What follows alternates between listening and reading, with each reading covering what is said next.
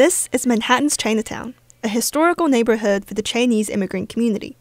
Today, Chinatown residents are seeing the signs of its disappearance. It used to be filled with these bilingual street signs, but over the years, you know, when the DOT, Department of Transportation, replaces these signs, they don't often replace it with a bilingual street sign and it's just an English only sign. So, in the recent months, there have been a lot of advocacy work surrounding the street signs and a push to replace these street signs with bilingual street signs. Street signs in Manhattan's Chinatown have been featuring both English and Chinese street names since the 1960s.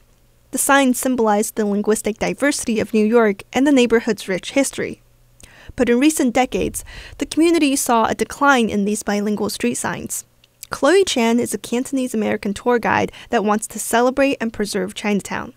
To her, the signs are a significant part of the neighborhood's heritage and culture even growing up in Manhattan Chinatown, like when we walk around the neighborhood, my parents would refer to these streets by their Cantonese names, right? So I think it just holds a very nostalgic, I guess, sense for a lot of us Chinese Americans that grew up in Chinatown. And even when we lead our walking tours, we always take our guests to the three oldest streets of Manhattan Chinatown, which is Mott Street, Pell Street, and Doyers Street. And I just think it's so cool how back in the day, people were able to take these English street signs and found like such an apt Cantonese translation for it. And I think there's just so much like beauty, you know, in translating this very English street sign into, I guess, something that immigrants can relate to and can speak with confidence.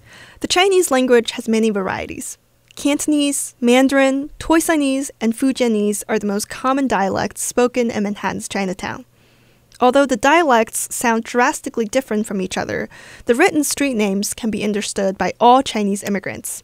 Most English street names are translated phonetically into Cantonese. For example, Mott Street in Cantonese it's Mut Guy. So it wasn't it wouldn't really make a lot of sense if you say in Mandarin, which is like Wu Jie. So I just like love that fact. And also Cantonese is a dying dialect, so the fact that it's still spoken around Chinatown um, and is reflected in our streets, I just think is such a beautiful thing. But the significance of the street signs is more than symbolic.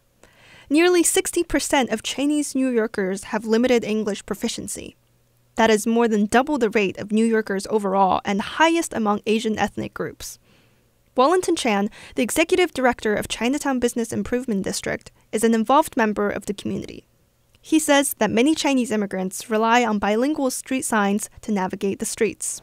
I once got a call in the office and I said, can you at least spell the alphabet, the street that you're standing under?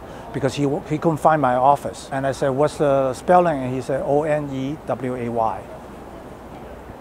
This is a linguistically challenged community. If you don't have those street signs, they don't know what street they are at. And so it is not just, uh, yeah, it's so nice to define Chinatown. No, it is also about necessity. The disappearance of Chinese street signs isn't out of the blue. All throughout North America, Chinatowns have endured many challenges in recent years. Not only did the pandemic bring about a spike in racial violence against Asian Americans, the decline in tourism also resulted in Chinatown's economic downturn. To Chloe, the signs are clear. Chinatown is struggling to survive.